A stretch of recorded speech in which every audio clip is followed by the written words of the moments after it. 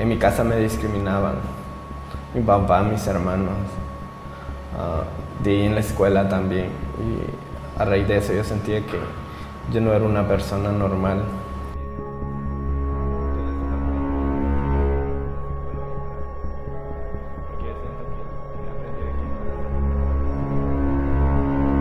Tuve un enfrentamiento con personas de Namaras, empezaron a golpearme.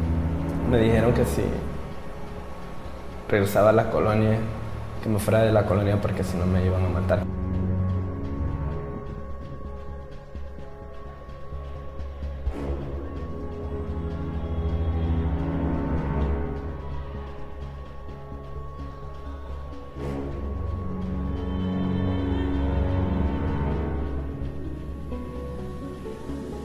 de aquí hasta Estados Unidos es un solo descontrol. Muchas lo que hacen es mm, ponerse una inyección de planificar porque van dispuestas a cualquier a que las violen o que las eh, que les haga cualquier cosa. Un 90% de la población que nosotros atendemos eh, ha sufrido en algún momento de su vida violencia.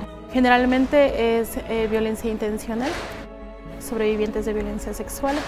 Em, víctimas de secuestro, de asalto, de robo en el camino.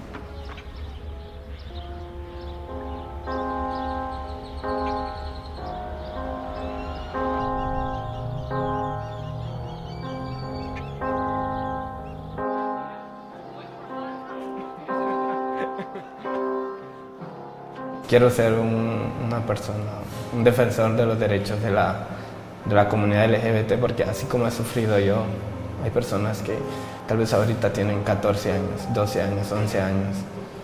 Son muchos menores. Necesitan ayuda, conocimiento y alguien que defienda sus derechos.